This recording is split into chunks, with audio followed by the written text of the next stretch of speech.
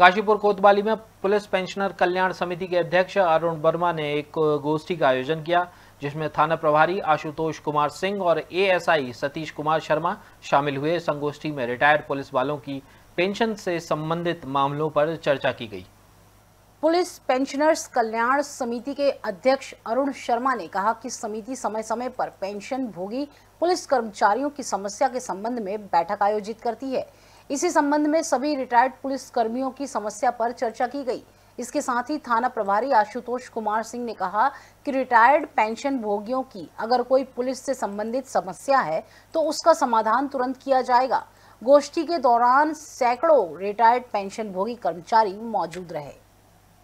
नगर में जो police pensioners हैं हमारे, उन पुलिस पेंशनर का हमारा संगठन है। उस संगठन की हमारी गोष्ठी होती है। और उस गोष्ठी में जो हमारे जो सरकार के द्वारा नए आदेश निर्देश होते हैं, उनके बारे में बताया जाता है।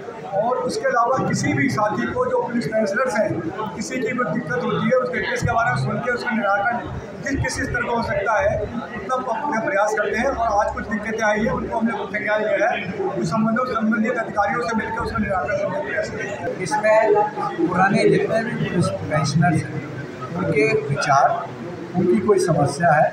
उनका कोई और परेशानी है उसको सॉल्व करने के लिए यहाँ पर विचार विमर्श होता है और सीनियर ऑफिसर्स के साथ बातचीत करके उस समस्या को दूर करने की कार्रवाई की जाती है बेसिकली इसका यही कारण है Rabindranath Tagore University Bhopal, NIRF ranked for five consecutive years.